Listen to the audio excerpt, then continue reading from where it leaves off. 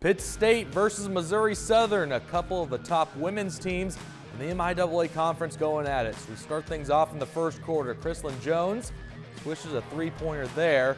A few possessions later, in transition, it's Jones who fires away again. She gets another three-point shot. She led Southern with 19 points this afternoon. But Pitt State looks to adjust. Still in the first. Sharpshooter Grace Pyle buries that three-pointer. Later in the half, it's Karina Gerber and Grace Pyle showing some good chemistry there. And it's Gerber that gets the bucket. The Gorillas led by two points going into halftime. So in the second half now, Jones fires away but misses. Brandy Hudson gets the rebound, and you can count that basket plus the foul. We had 16 lead changes in this game, but Pitt State starts to go on the run as Pyle hits a huge three there to put the Gorillas up by four.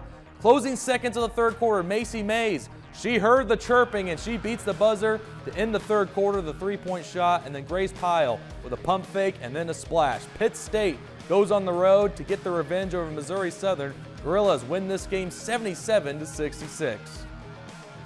Yeah, I just think it's our trust in each other. You know, um, I feel like we shared the ball really well. We found the open person with our heavy rotation, and we just trusted each other. It's something we prepared for all week. So um, in those big moments, I had 100% trust in whoever my teammate was. Uh, two teams really going at it, and um, you know that is like that is the MIAA as far as two really good basketball teams. Um, and usually it's kind of like you went at home, but for two teams to meet each other on the road is tough.